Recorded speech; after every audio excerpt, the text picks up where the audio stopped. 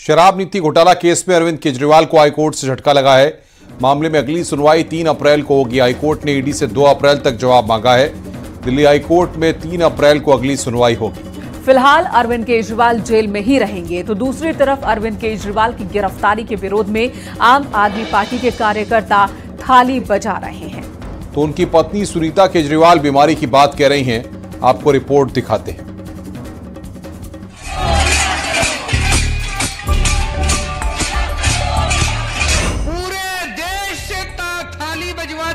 चम्मच थाली सारा देश।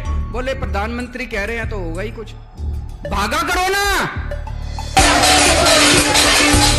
जो अरविंद केजरीवाल कोरोना काल में थाली बजाने को लेकर देशवासियों और प्रधानमंत्री मोदी का मज़ाक उड़ाते थे, कहते थे कि क्या थाली बजाने से कोरोना भाग जाएगा? आज जब वो 338 करोड़ के दिल्ली शराब घोटाले को लेकर ईडी की हिरासत में हैं, तो उन्हीं की पार्टी के नेता थाली बजाकर दिल्ली की सड़कों पर विरोध प्रदर्शन कर रहे हैं। केजरीवाल के गिरफ्तारी को लेकर विरोध जता रहे हैं।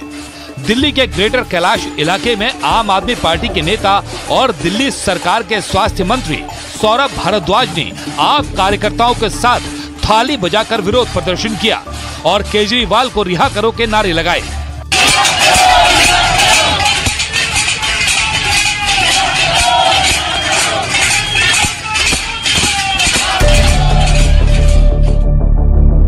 विडंबना यह है कि लालू यादव जैसे नेताओं को अरविंद केजरीवाल कभी भ्रष्टाचारी बताते थे। लेकिन आज वो न सिर्फ़ उनके साथ हैं, शराब घोटाले में घिरने के बाद वो पूरी तरह से लालू यादव के पद चिन्हों पर चलते दिखाई दे रहे हैं। वर्ष उन्नीस सौ सतानवे में चारा घोटाले में जब लालू यादव को आरोपी बनाया गया तो उन्हें मुख्यमंत्री पद से इस्तीफा देना पड़ा था। मैं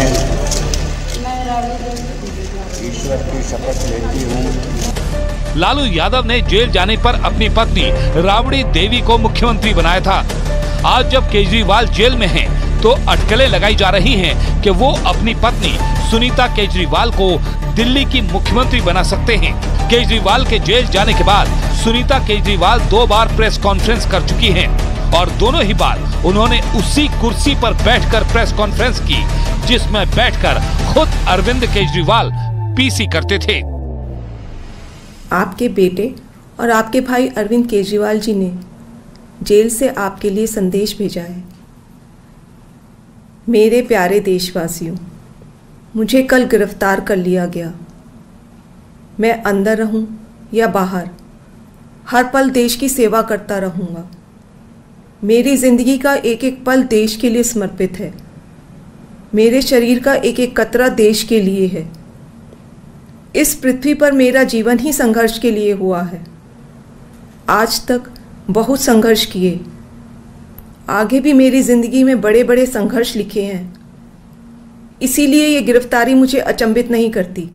उन्होंने कहा है, मेरा शरीर जेल में है, लेकिन आत्मा आप सबके बीच है। आँखें बंद करो, मुझे अपने आसपास महसूस करोगे। लालू यादव, हेमंत सोरेन जैसे कई नेताओं ने जेल जाने से पहले सीएम पद से इस्तीफा दे दिया था।